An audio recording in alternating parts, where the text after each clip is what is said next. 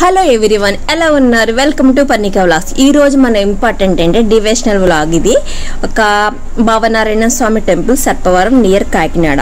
Means Kakinada rural ఏరియాలో ఉంటుంది. ఇక్కడ ఇంపార్టెంట్ ఏంటంటే రెండు సరస్సులు ఉంటాయి. మొగతికా సరస్సు నారద సరస్సు అని ఉంటారు. నారదగుండం అని. ఇందులో స్నానం చేస్తే చాలా పాపాలన్నీ పోతాయి అంటారు. ఇక్కడ చూడండి ఆయన నారదుని విగ్రహం ఉంది. ఆయన చేతికి గా ఒక చేతికి గాజులు ఉన్నాయి పైకి పెట్టినట్టు. అందులోనే మొత్తం కథ ఉంటుంది. లాస్ట్లో మీకు అన్నీ యాడ్ చేస్తాను కథ డీటెయిల్స్. మనం ఏమనుకుంటాం భావం బట్టి దీన్ని ఇక్కడ స్వామి వెలిచి వెలిసారు అని చెప్పేసి అంటారనమాట మనం లోపలికి ఎంటర్ అవుతున్నాం. ఇదే మెయిన్ ఎంట్రన్స్. ఇక్కడ ముందు ఈ టెంపుల్ చాలా పాతగా ఉండేది. నా చిన్నప్పుడు ఈ దారిలో మేము ఎప్పుడైనా కాలేజ్కి వెళ్ళినప్పుడు ఇవన్నీ చూసుకున్నప్పుడు చాలా పాతగా ఉండేది ఎంత పాతగానంటే ఒక పాడుబడిపోయిన మందిరంలా ఉండేది. రాళ్ళన్నీ బయటకు వచ్చేసి గోళ్ళన్నీ పగిలిపోయి అలా ఉండేది. నా నేనైతే చూశాను. తర్వాత కొన్ని రోజుల తర్వాత చాలా బాగా డెవలప్ చేశారనమాట ఎంత బాగా అంటే ఇప్పుడు చూస్తున్నారు కదా ఇప్పుడైతే అంత బాగాలేదు ఇంకా ఒక ఫైవ్ ఇయర్స్ బ్యాక్ ఇంకా బాగా చేశారు. చాలా మెచ్చుకోవచ్చు అనమాట ఇలా కూడా చేస్తారా అనిపించింది నాకైతే. ఇది నా పర్సనల్ అభిప్రాయం. ఇది ఎంత పాత పడిపోయి ఉన్నా ఈ గోపురంలో ఒక జీవకాళ అయితే కనిపిస్తుంది. నాకు ఎప్పుడు ఏ టెంపుల్కి అనిపించలేదు. నేను డైలీ ఇదే రూట్లో వెళ్ళేదాన్ని కదా. నాకైతే అనిపించింది ఈ టెంపుల్ లోపలికి వెళ్ళాలి ఏముందో నాకు చాలా బాగా అనిపించింది అనమాట మాఘమాసంలో ఇక్కడ సూర్యుడికి మీన్స్ మాఘ పౌర్ణమి నాడు ఇక్కడ స్పెషల్ పూజలు జ జరుగుతాయి. చాలామంది వస్తారు మాఘ మాసంలో ప్రతి ఆదివారం ఇక్కడ స్వామికి స్పెషల్గా పూజలు అయితే జరుగుతాయి. చాలా మంచిదట మాఘ మాసంలో స్వామిని దర్శిస్తే. ఇక్కడ చాలా విశాలమైన ప్రాంగణం ఉందన్నమాట. ఈ ప్రాంగణంలో మొత్తం మొక్కలు బయట చాలా మొక్కలు ఉన్నాయి. చాలా బాగుందన్నమాట. ఇంత పెద్ద ఆవరణ అయితే ఎక్కడ ఉండదు. ఇది చాలా ఓల్డ్ చాలా ఓల్డ్ ఓల్డ్ టెంపుల్.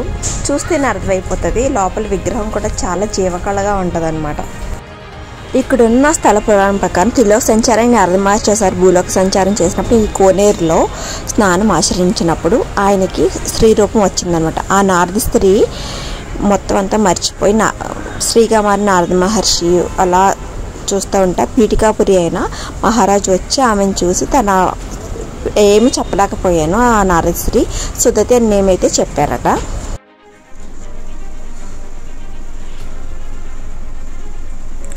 ఆ రాజుకి నారాయణ నారద కన్యకి పుట్టిన అరవై మంది పిల్లలు పుడతారు. ఆ మొత్తం అరవై మంది పిల్లలే మన నక్షత్రాలు అనమాట మనం ప్రతి ఒక్కరికి ఒక నక్షత్రం ఉంటుంది కదా ఆ ఆ నక్షత్రాలే నారదుని పిల్లలు అని చెప్తారు. ఆ పిల్లలతో ఆమె చాలా హ్యాపీగా ఉంటుంది. నారద కన్య భర్తతో అన్నీ ఇంకా మామూలుగా మానవ జీవితంలాగా అన్ని మీ విష్ణుమాయలో పడిపోయి ఉంటుంది. వాళ్ళందరూ ఒక ఆ విష్ణుమాయలోనే ఆ రాజు ఒక యుద్ధంలో పాల్గొనాల్సి వస్తుంది. ఆ అరవై మంది పిల్లలు చనిపోతారు. భర్త కూడా చనిపోతాడు. ఆమె ఆ నర్తకన్య చాలా బాధపడుతూ ఉంటుంది అనమాట ఆమె దేవుణ్ణి అసలు ఎప్పుడూ స్మరించుకోదు. ఫుడ్ కూడా తినేస్తూ ఉంటుంది అనమాట దేవుణ్ణి స్మరించకుండా.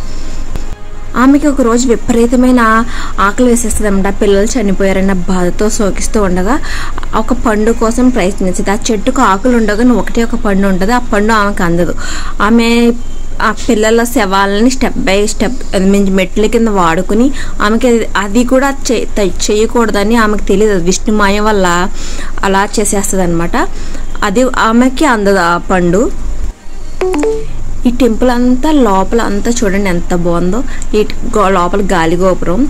అసలు చాలా బాగా డెవలప్ చేసే పా వెనకాతలైతే పాతాళ భావనారాయణ స్వామి టెంపుల్ ఉంది. చాలా బాగుంటుంది అనమాట అసలు ఆర్కిటెక్చర్ అయ్యి ఈ టెంపుల్కి ఉపయోగించిన రాళ్ళు కూడా ఇక్కడ ఎక్కడ ఈ ప్రదేశంలో దొరకవు. మరి ఎక్కడి నుంచి కట్టారో తెలియదు కానీ నేను మూల అయితే చూపించట్లేదు.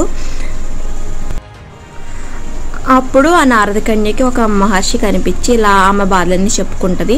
నువ్వు స్వామిని విష్ణుమూర్తిని కొలువు అని చెప్పేసి అంటే ఆమె అలా కొలిచితే ఆమె ఇతి బాధలన్నీ పోయి అన్నీ మామూలుగా అవుతాయి. అప్పుడు చెప్ ఆయన చెప్తాడు మూడు సార్లు ఆ సరస్సు విష్ణుమూర్తి కనిపించి ఆ సరస్సులో మునిగితే ముక్తిగా సరస్సులో మనకు ముందు చూపించాను కదా. చెప్తే ఆయన చెయ్యి పైకి పెట్టుకుని ము- మునిగితారు. మొత్తం అంతా నారదుడి పూర్వరూపం వస్తుంది. అప్పుడు తపస్సు చేసి విష్ణుమూర్తి చేశారు కదా అక్కడ ఆయన భావంతో కొలిచాడు కాబట్టి ఇక్కడ భావనారాయణ స్వామిని నెలకొల్పుతారని చెప్తారనమాట ఈ స్థల పురాణం ఇది.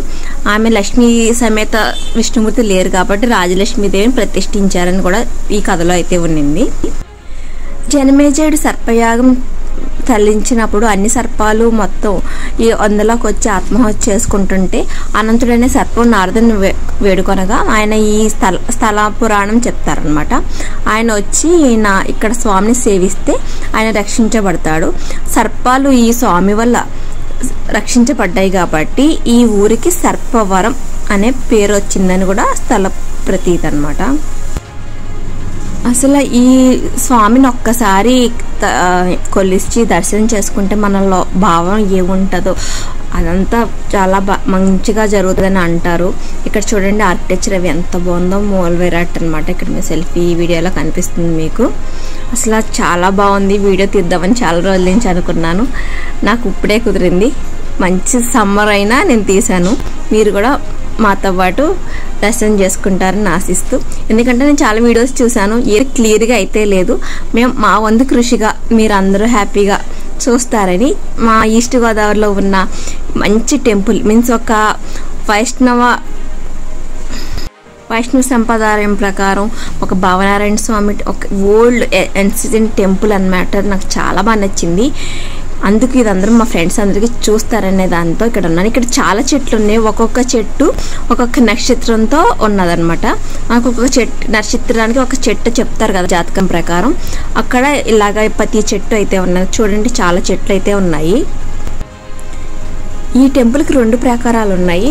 చూడండి ఇలా మనం బ్యాక్ సైడ్ అంతా నడుచుకుని వస్తుంటే అసలు చాలా బాగుంది అక్కడ రాయి ప్రారి అసలు ఎక్సలెంట్ అన్నమాట. బయట నుంచి టెంపుల్ చూస్తున్నారా రాయి ఎంత స్ట్రాంగ్గా ఉంది ఎన్ని సంవత్సరాలు అయిందో. ఈ టెంపుల్ని చాలామంది రాజు రాజులు అవి బాగానే చేశారంట. రెండు రెండవ శతం నుంచి కూడా చెప్పారని ఒక చరిత్ర చెప్తుంది. నేనైతే క్లియర్గా చెప్పట్లేదు. బ్యాక్ సైడ్ మహాగణపతి ఉన్నదనమాట ఇక్కడ నాకైతే ఈ విగ్రహం కూడా చాలా బాగా నచ్చింది. మా వాళ్ళు ఇక్కడ జస్ట్ ద స్వామికి దండాలు పెట్టి గుంజీలు తీసుకుంటూ ఉన్నారు. చెట్లు అయితే చాలా ఉన్నాయి సమ్మర్ కదా అప్పుడు తక్కువ ఈవినింగ్ వ్యూలో అసలు నేను ఎప్పుడు బ్యాక్ సైడ్ అయితే రాలేదు. ఈసారి అయితే బాగా వచ్చాను. ఇంకొకటి ఏంటంటే మనకి టిక్ ఫ్రంట్ నుంచి వెళ్తుంటే టికెట్ అంట టెన్ రూపీస్ బ్యాక్ సైడ్ నుంచి అంటే ఫ్రీ అంట. ఏంటో. చూసుకోండి. మేము వెళ్ళినప్పుడు అబ్బాయి ఫోన్ మాట్లాడుతూ చెప్పడం మర్చిపోయాడు. మేము బ్యాక్ ఫ్రంట్ నుంచి వెళ్ళాం అనమాట మీరు ఇలా ఇది ఉత్తర దర్శనం కోసం పెట్టింది అనుకుంటా ఇక్కడ ఆల్ ఆల్వార్ విగ్రహాలు చాలా బాగున్నాయి. సర్పవరం అంటే టెం పూలకి చాలా పెద్ద మార్కెట్ అన్నమాట. చూడండి ఇక్కడ ఏసీ రూమ్స్ కూడా ఉంటాయి. ఏమీ తగ్గించట్లేదు హోల్సేల్ అంటారు కానీ చాలా పువ్వులు ఉంటాయి అన్నమాట చూడడానికి మీద చాలా బాగుంటుంది. నేను చిన్న వీడియో తీసి మీకు ఈ వ్లాగ్లో పెడుతున్నాను. మీకు ఈ వ్లాగ్ కనుక నచ్చినట్లయితే please like subscribe. For more interesting updates please stay చూడండి నేను కొద్ది కొద్దిగా కష్టపడ్డాను ఎడిటింగ్కి ఎందుకో టైం పట్టేస్తుంది. నాకు వేరే యాప్ సపోర్ట్ చేయక. కానీ కంప్లీట్ అయితే నేను చేశాను. ఈ బ్లాగ్ నచ్చితే ప్లీజ్ లైక్ అండ్ సబ్స్క్రైబ్ అవే ఫ్రెండ్స్ ఈ నెక్స్ట్ బ్లాగ్ మేము తర్వాత గోకులానికి కూడా వెళ్ళాము. అక్కడ వీడియో తీయడానికి కుదరదు. బయట ఆవరణలో చిన్న ఇదంతా గోకులం అనమాట చాలా బాగుంటుంది లోపల. కాకినాడకి బిగ్గెస్ట్ సెట్ అనమాట ఈ రెండు టెంపుల్స్ బాయ్ బాయ్